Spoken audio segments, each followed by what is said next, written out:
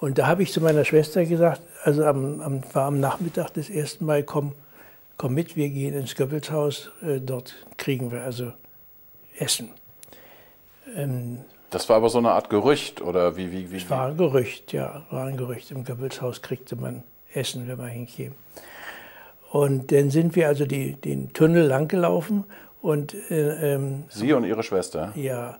Und am Tiergarten war so ein Notausstieg, wie sie ja heute auch da, ich weiß nicht, ob noch einer da ist, aber jedenfalls, wo man heute aus dem Tunnel rauskommen kann. Und da sind wir raus und das war äh, in etwa die Höhe der amerikanischen Botschaft, also kurz, wo die Ruine stand, die war ja ausgebrannt.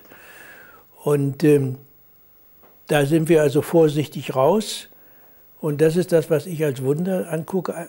Es sollen zu der Zeit ja schon die Russen im Reichstag gewesen sein. Ähm, aber von denen haben wir da nichts gemerkt, sondern wir sind also über die Straße gerannt und da war ich fassungslos. Da lag äh, diese, diese Ministergärten waren durch eine Mauer in preußisch Gelb äh, von der Straße getrennt. Und äh, da waren in gewissen Abständen so große Tore als Eingänge mit dem Preußenadler oben drauf, links und rechts flankiert.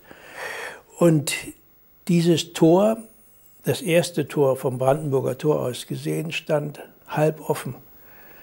Und äh, davor lagen zwei tote Russen, hatten hier Kopfverletzung. Also ich habe in Erinnerung, als wären sie mit einem Spaten erschlagen worden. Und da war ich, habe ich zu meiner Schwester gesagt, was machen die denn hier? Wie kommen, wo kommen die denn her?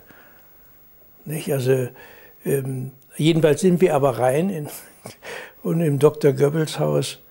Das war das, also ich, war, ich konnte das alles nicht verstehen.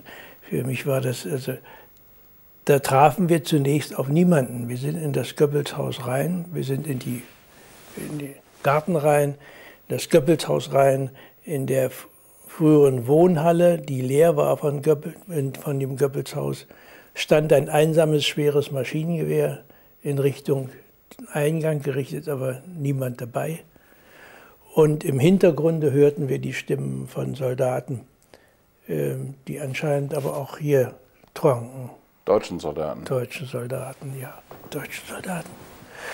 Und die haben wir dann gefragt, ob wir was zu essen kriegen konnten. Und dann haben die gesagt, ja, ja, klar, kommt. Also, und dann kriegten wir also äh, Kekse und Gebäck und Marzipan und also lauter solche, solche Sachen, die wir schon ewig nicht mehr gesehen hatten. Und wir gingen auch wieder zurück. Äh, auf demselben Weg wieder zurück.